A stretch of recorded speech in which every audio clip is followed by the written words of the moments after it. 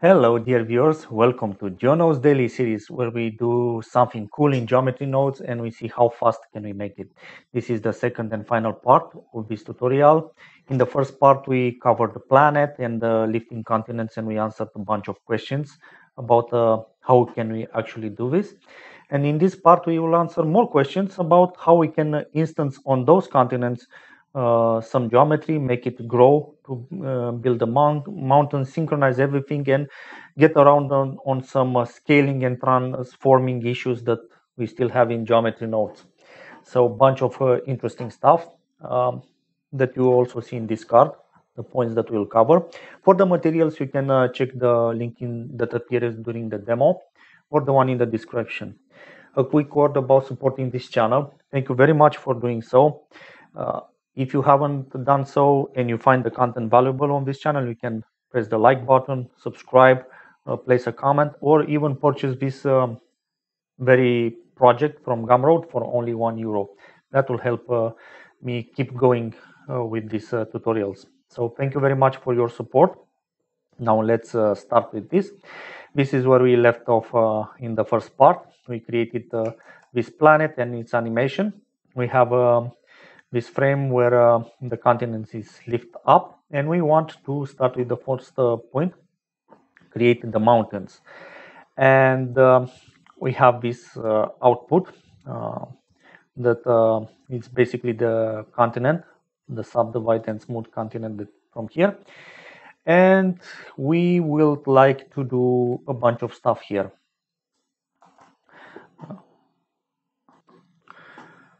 like creating those mountains. So the idea, first question is how we can uh, make sure that we isolate only this island. We don't want to create an instance uh, mountains on everything because that would be heavy on the computer and pointless for this effect. So we have to separate things uh, somehow. So let's do a separate geometry. Plug this one here. And we need a selection and we already have a selection here. It's uh, the one that we created uh, for moving them up. Why not using it here? So now we have only this selected as you can see. Uh, that's awesome. Later on we will add a, a join geometry to regain everything. But for now let's just focus on this.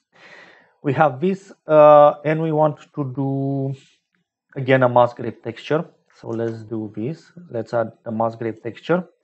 And we want a geometry set position and plug this one here. And this Musgrave texture is going to control um, our effect. We will of course want to push everything uh, if we just plug this one here I'm gonna get this weird result. uh, that's not what we want. Uh, but we can make things go right by pushing them in the direction of the normals. So let's do a vector math and multiply these two values. Sorry, I want to do a scale because we have this vector and we want to scale based on this one. So we start to see something happening here. Um, but we have to do a little bit of uh, working on this um, this thing here.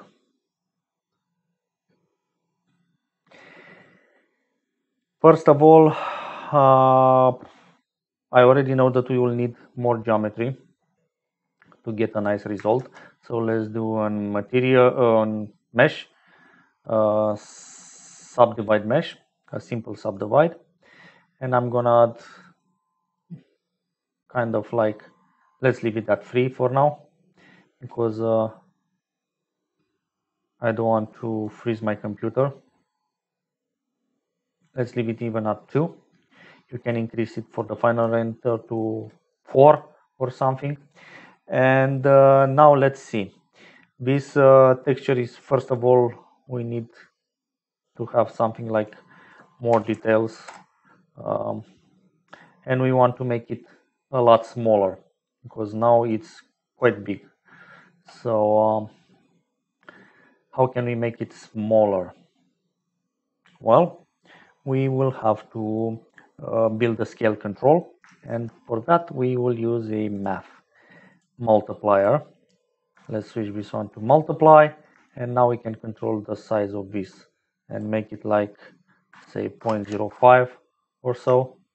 And we already start to see something happening here. And uh, in order to have a cleaner view of what's going on here, let's do a geometry, uh, join geometry, and we will put the geometry here and take this geometry.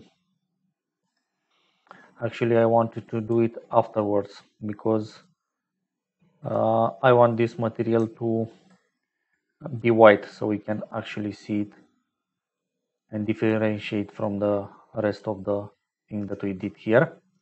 So let's switch this one to material preview and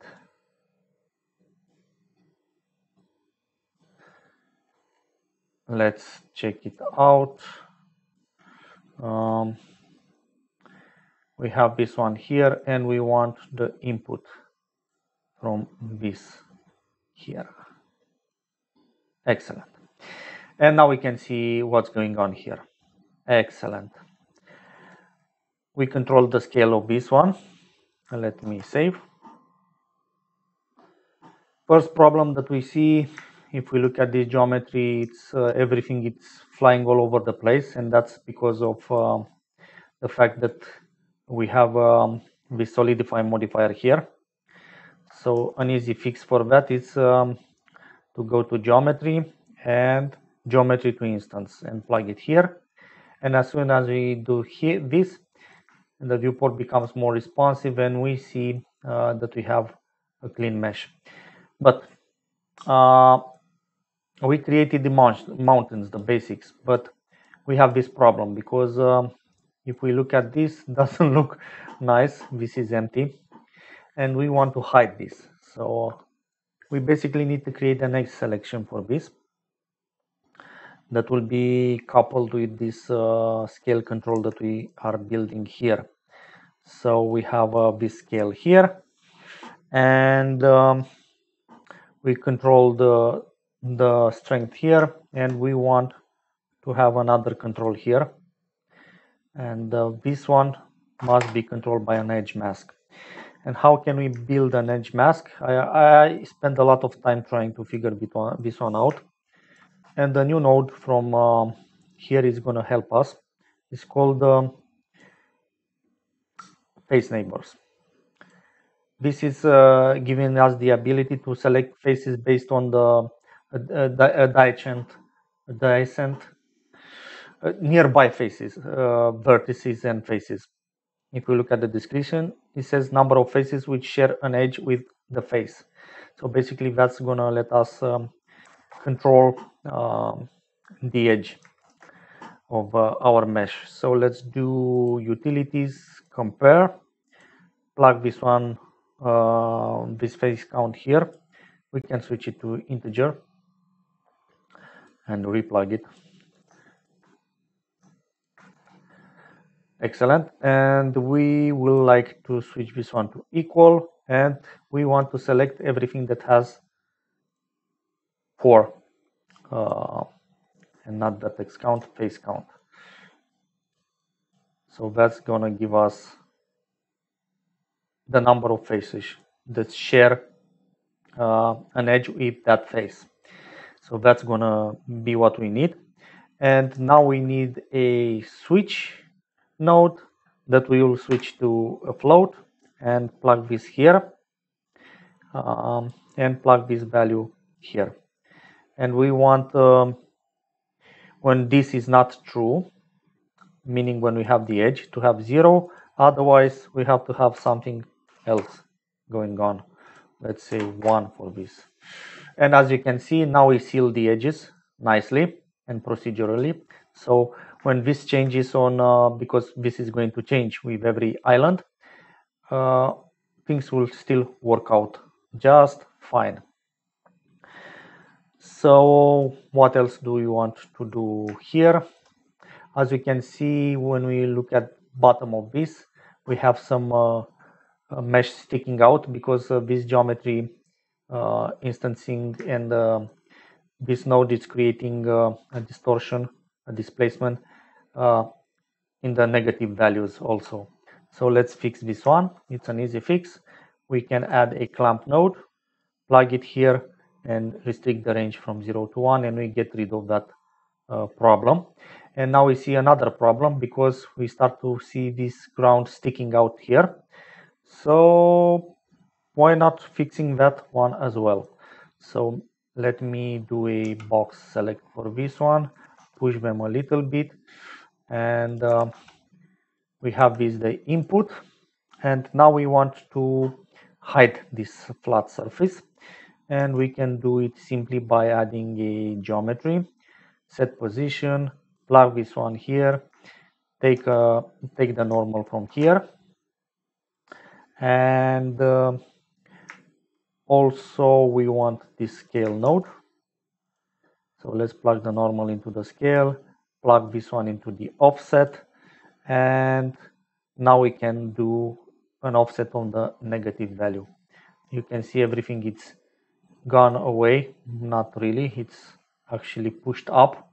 And that's a problem because uh, if you want to scale things around you'll find it uh, quite impossible or quite difficult right now.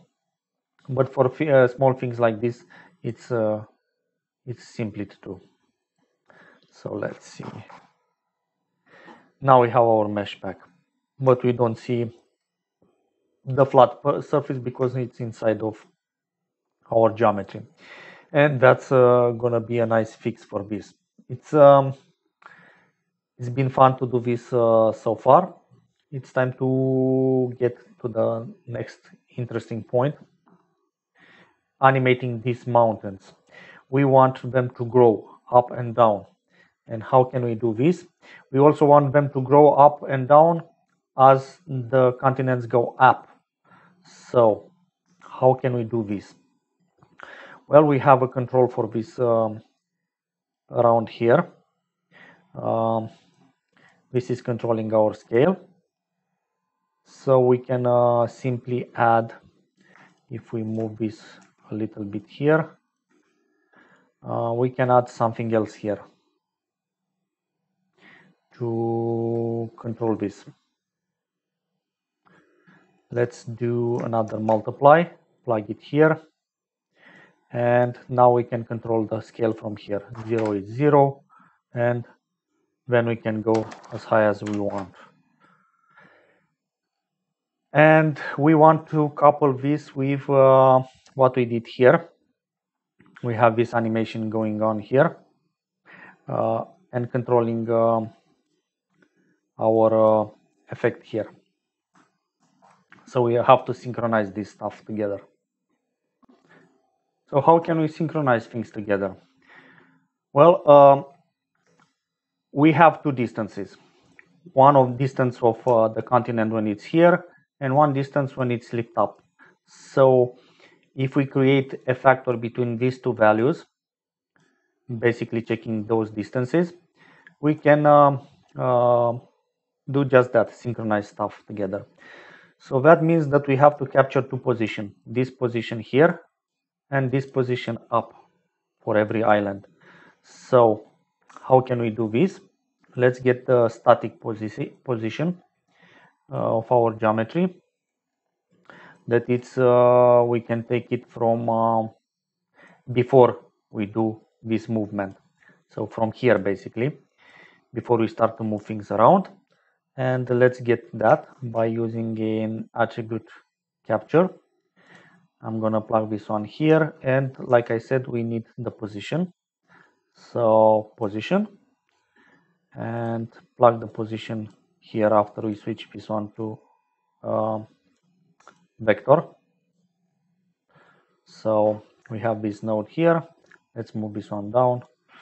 Plug the position here. And that's gonna give us the static position Excellent. So let's do a uh, layout, reroute, and take this value from here because we have to move it all the way. Let's put it here. And now we have the static position, this one from the continents here. let's get this one. Where is this uh, going to be? Well, it has to be here where we start to we'll start to move things uh, around. We can get it from here. This is what we care about. After we started to do this uh, stuff around here.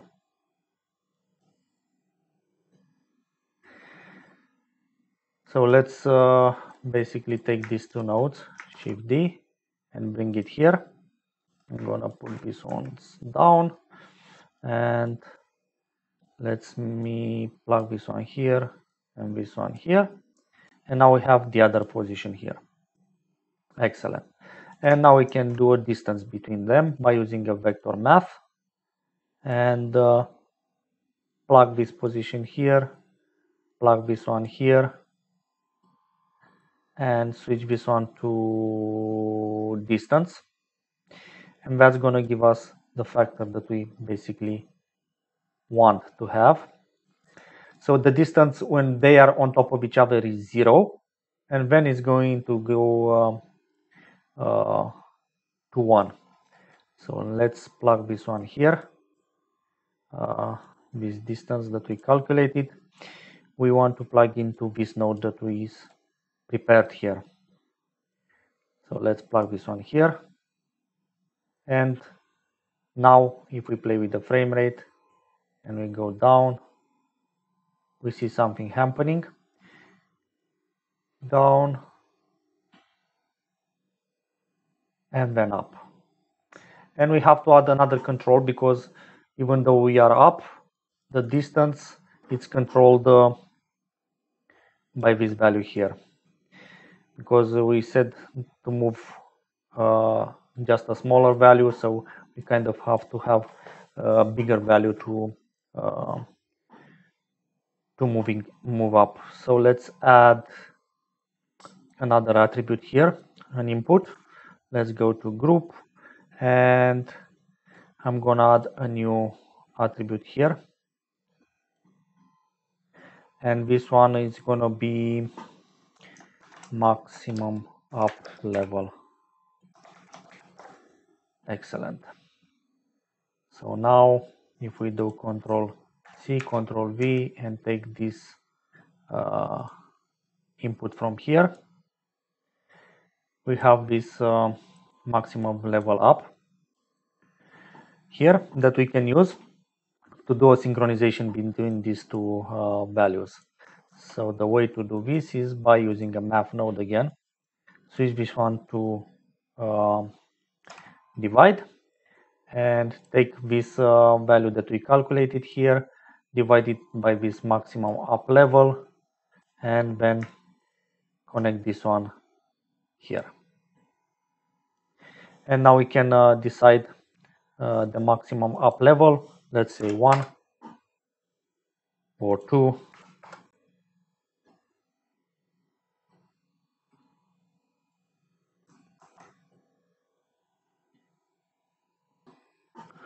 sorry 0.2 and we get uh, we get this uh, result. We can even add a separate control for um, um, the height of the terrain. That will help us uh, decide if we want to grow the mountains bigger or uh, smaller. And the way to do this it's also going here. And uh, we can add another multiply node here plug it here and create a new value. Let's say um, maximum terrain or something. And uh, once we did this we can duplicate this node.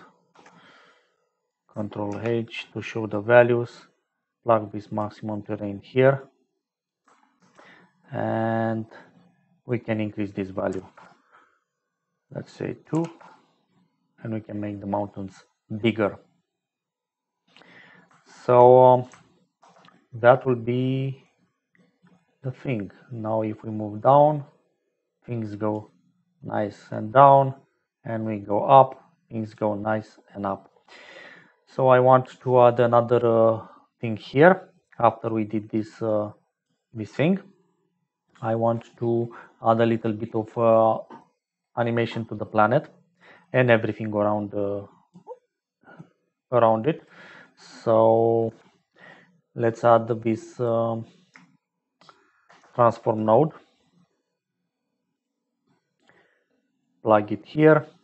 And then we can do in um, vector combine xyz and we want to animate the z rotation of this planet. And uh, the way to do this now with the new node scene time we will plug the frame here.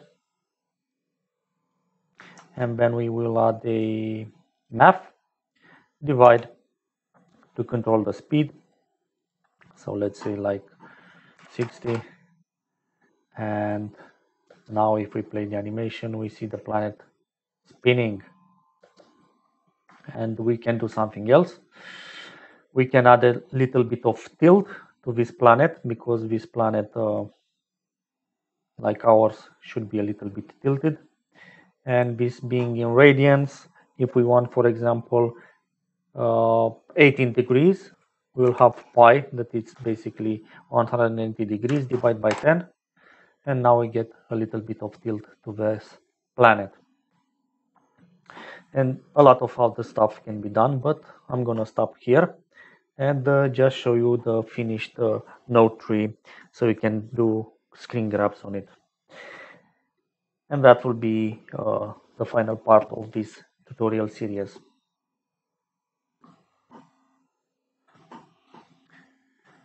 So this is the cleanup version of this project. I added a little bit more uh, um, controls from the output.